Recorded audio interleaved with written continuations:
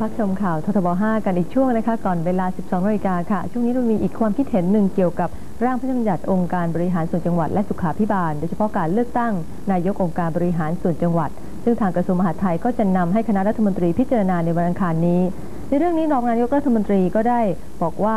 จะได้รับการวิพากษ์วิจารณ์ในเรื่องนี้อย่างกว้างขวางทีเดียว และก็ยังเชื่อว่าจะได้ผลสรุปที่ดีที่สุดด้วย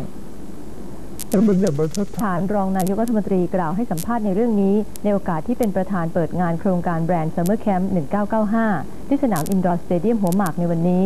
รองนายกรัฐมนตรีกล่าวว่า การพิจารณาร่างพระราชบัญญัติดังกล่าว คณะรัฐมนตรีจะพิจารณาปรับปรุงเกี่ยวกับการเลือกนายกองค์การบริหารส่วนจังหวัด หรืออบจให้เหมาะสม ซึ่งมั่นใจว่าทุกฝ่ายจะยอมรับต่อร่างดังกล่าว รองนายกรัฐมนตรียังกล่าวถึงการตีความคุณสมบัติของเกษตรกร ซึ่งอยู่ในระหว่างการตีความของคณะกรรมการกฤษฎีกาด้วยว่า รัฐบาลพยายามที่จะให้เรื่องนี้ชัดเจน และเป็นที่ยอมรับของทุกฝ่ายอย่างไรก็ตามขอรอผลการตีความของคณะกรรมการกฤษฎีกาซึ่งข้าวถั่วจะตีความแล้วเสร็จในสัปดาห์หน้านี้ ก็ก็ไม่ฮะก็เห็นผมดูข่าวหนังสือพิมพ์แล้วก็ดูจะขัดแย้งกันฮะบางส่วนก็บอกว่าสบกตี ความในทางที่คงไม่ตรงกับที่รัฐบาลทำบางส่วนก็บอกว่าดูจะตรงกับที่รัฐบาลท